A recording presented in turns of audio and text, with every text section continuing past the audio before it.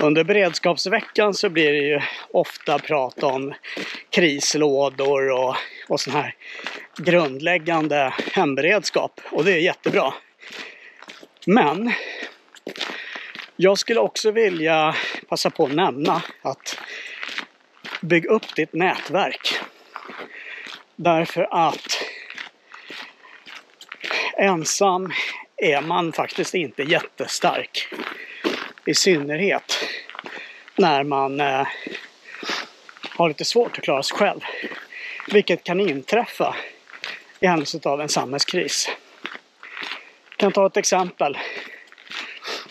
För eh, några veckor sedan, tre veckor sedan eller något sånt, så råkade jag på sådana här höstblåsor. Så att jag eh, låg i sängen med hög feber i tre dagar. Och eh, då var det ganska tufft kan jag säga. Inte jätte, jättekul. Ja, bra.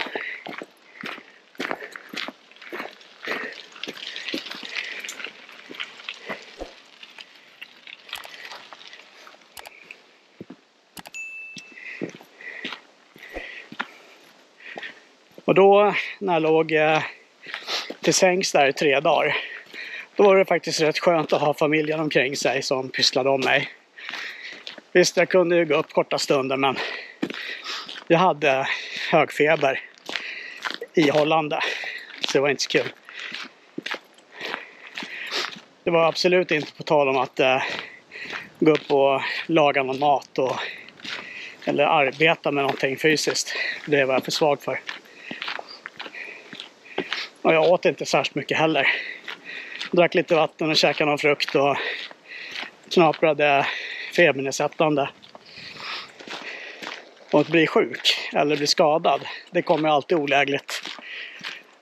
Så är det ju.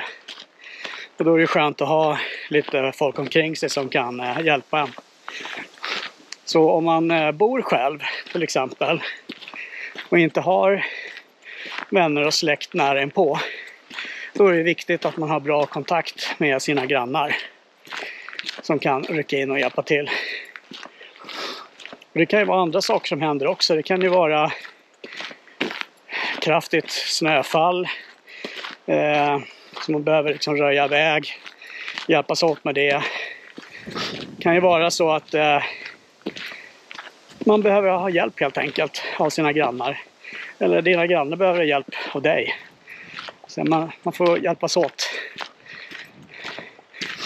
Men den bästa hjälpen egentligen man kan ge nu i normalläget det är att eh, prata med sina grannar om hemberedskap och krisberedskap.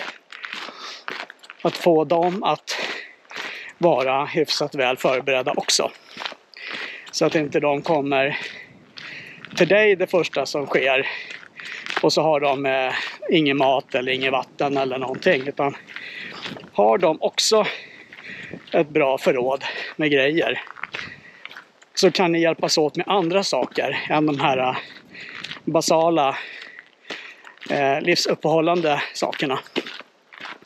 Det kan ju vara så att det är saker som behöver repareras på grund av eh, vindstormskador eh, eller översvämningar eller vad det nu kan vara för någonting.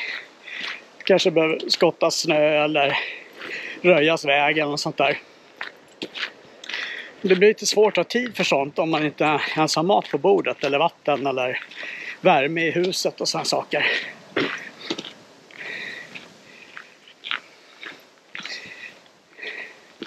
Så se till att ha bra kontakt med de som bor i närheten. För det är de som förmodligen har lättast att hjälpa dig i händelse av att du behöver hjälp.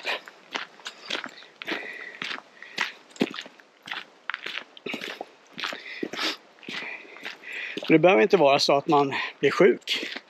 Det kan ju vara så att, eh, låt oss säga att du har barn i, eh, på förskola eller i skolan. Och så blir det värmeavbrott eller strömavbrott som gör att det blir för kallt i skolan eller på förskolan för att barnen ska få vara kvar där. Ja, då ringer de till föräldrarna Så får föräldrarna lämna jobbet och gå och hämta barnen. Det har hänt oss ett par gånger. Och eh, det är lite trist om man kanske behövs på jobbet, i synnerhet om det är en samhällskris på gång. Men då är det bra om man har några människor runt omkring, grannar eller liknande som eh, kan hjälpa till att ta hand om barnen till exempel. Eller det kan ju vara så att man har någon i familjen som behöver lite eh, omvårdnad om någon annan i familjen behöver gå till jobbet till exempel. Som i mitt fall. Nu så inföll det här på en helg så att det var ju tur det. Men låt oss säga att eh, frun skulle behöva gå till jobbet. Och då hade jag förmodligen klarat mig själv en stund hemma då, men barnen ska ju ha mat och, och sånt också. Tas om hand om. Så det är tipset. Se till att ha ett bra nätverk med människor som du litar på. Som kan, eh, som kan hjälpa varandra när det behövs. Om du gillar den här videon, ge en tummen upp, skriv gärna en kommentar nedanför och prenumerera gärna på kanalen. Det kommer mycket mer. Ha det bra, hej!